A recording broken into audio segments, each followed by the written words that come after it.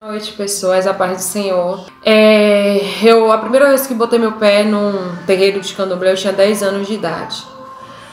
Só que fui feita aos 21 anos de idade, 22 anos de idade, é, raspada e catulada em Ansan. Era rodante. Quem me conhece sabe o quanto eu idolatrava eles, o quanto eu era maluca por eles. Eu alimentava todo ano, eu cuidava, eu na época achava que amava. E já postei várias vezes, inclusive, chamando eles de minha vida. Só que Deus, ele ele sabe, ele tem escrito o dia e a hora de resgatar, de salvar cada filho dele. Eu sempre ouvi a palavra do Senhor através de terceiros, mas nunca me atentei. Até que em março eu conheci uma pessoa que foi muito importante na minha vida, a qual eu me apaixonei por ela perdidamente, que foi meu ex-namorado. E esse meu ex-namorado, a mãe dele e o padrasto eram pastores. E eu era tão apaixonada por ele que eu estava disposta a fazer tudo por ele.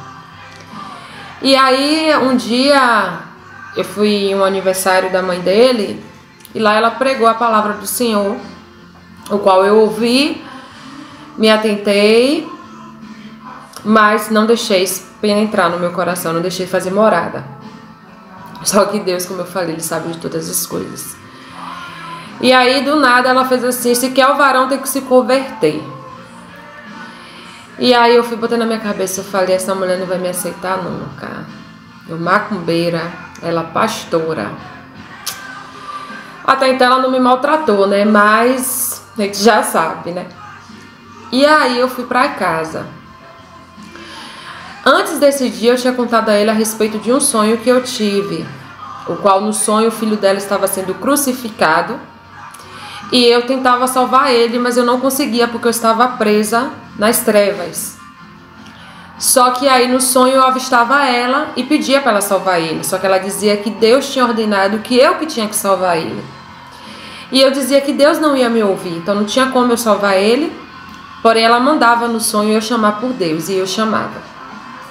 E aí eu contei esse sonho a ela e ela disse que tinha sido um chamado de Deus, que era Deus falando comigo, só que eu não dei importância.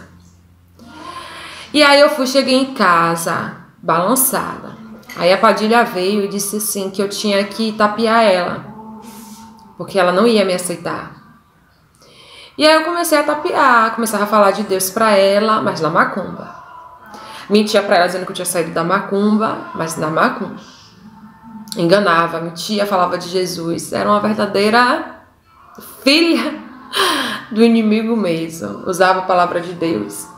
Dizia para ela que Jesus tinha falado comigo e tal e na macumba. Só que, como eu falei, Deus não gosta de nada mal feito, gente. Deus sabe de tudo. O tempo foi passando e eu que achava que estava enganando ela, ela na realidade estava agindo como serva de Deus, que era pregar o evangelho para mim. E foi passando e foi passando o tempo. E aí a pregação dela foi se fortificando dentro de mim. Eu comecei a, a ouvir louvores, eu comecei a, a ler a Bíblia. Para vocês terem noção, a primeira vez que eu peguei a Bíblia para ler, eu deitei no sofá e quando eu abri ela, comecei a passar mal, comecei a me tremer, a língua veio parar aqui na garganta e foi uma sensação horrível e eu não consegui ler. E eu não sabia o que era ainda, né? E aí foi passando e a semente crescendo dentro de mim. Só que eu ainda não tinha me dado conta. Um dia à noite ela me ligou e começou a falar de Jesus para mim, fez assim, que Jesus precisava que eu falasse com ele e tal, queria falar comigo. E aí eu não lembro bem, eu só lembro ter dito a ela que Jesus não me ouvia, e nem Deus. E ela fez assim: Deus ouve todo mundo, menina. Converse com ele que ele vai te ouvir. E desligou. E aí eu fui, peguei, tava com a vela acesa de Ansan de Ogum na cabeceira da minha cama. E aí eu cheguei perto da vela e fiz assim: Se tu é Deus, se você existe e me quer, apaga essas duas velas. Eu vou ali fora fumar e quando eu voltar, eu quero as duas apagadas. E eu fui fumar e quando eu voltei, as duas velas permaneceram acesas. E aí eu comecei a falar que ele não existia, que ele não me ouvia, que ele não estava nem aí para mim, que ele me abandonara, que ele me abandonou, que ele não estava ligando para o que eu passei, que eu sofri muito e onde é que ele estava, onde é, e já que ele me queria, porque ele tinha me deixado entrar no candomblé. E comecei a acusar a ele. E quando eu calei a boca, que eu deitei, uma voz interior no meu coração fez assim: Quem acendeu a vela foi você. Então quem tem que apagar é você e eu nunca te abandonei. Feche os teus olhos e eu vou te provar que eu nunca te abandonei.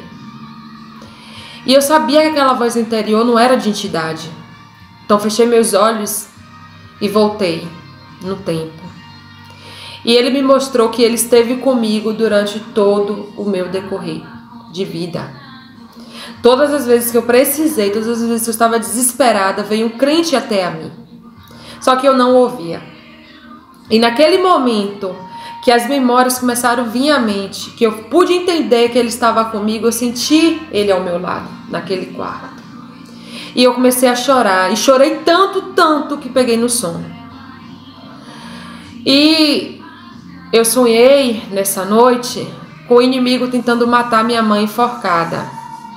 E eu lutava contra ele, só que eu não conseguia vencer. Então eu me ajoelhava e lembrava das palavras que minha ex-sogra me dizia. Lembrava das palavras que o meu ex me dizia, que ele sempre me dizia: Ingrid, sangue de Cristo tem poder. Sempre clame por isso. E eu comecei a clamar. E nesse momento, gente, que eu começava a clamar no sonho, o céu se abria e a igreja caía na terra. E quando a igreja caía, as portas se abriam e milhões de anjos começavam a orar. Aquele que faz assim, salmo, é, o Senhor é meu pastor e nada me faltará.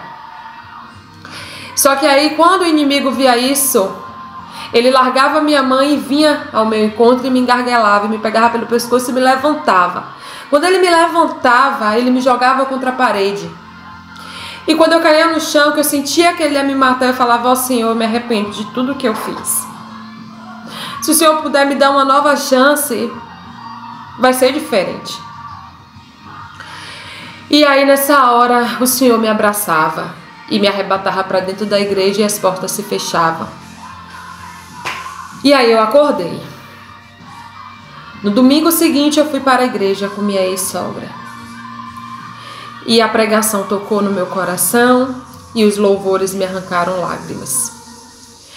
E naquele dia eu declarei que eu seria do Senhor porque não foi o homem que perguntou se eu aceitava Jesus.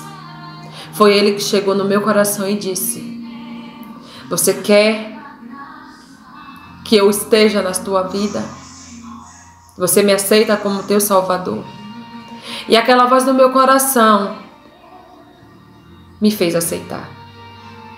E depois de 15 dias eu me batizei. Sabe por que eu estou glorificando tanto a esse Deus? Porque eu vi Ele. Eu não vi a olho nu, não. Eu vi com o meu coração. Sabe por que eu glorifico esse Deus? Ele me dá amor, ele me dá carinho, ele me dá atenção, ele me dá paz. Ele me tirou das drogas, ele me tirou de sexo sem compromisso, ele me tirou da bebida, ele me tirou do cigarro, ele me tirou das tentativas de suicídio. Ele me amou. Ele me resgatou e ele me salvou. E é por isso que eu falo, que eu aceito, que eu reconheço Jesus Cristo como meu único e verdadeiro Salvador. E eu louvo e eu glorifico a Ele, porque eu sei de onde Ele me tirou. Ele foi lá na lama me tirar. Ele fez o que ninguém iria fazer. Então eu dou glórias a Ele por isso. A paz do Senhor, meus amados canal Semeando Vida. Deus dá o crescimento à semente que é plantada em terra boa. Deixe aqui o seu comentário, se inscreva no canal e ative as notificações para receber mais conteúdos que irão abençoar a sua vida. Até a próxima e fiquem com Deus.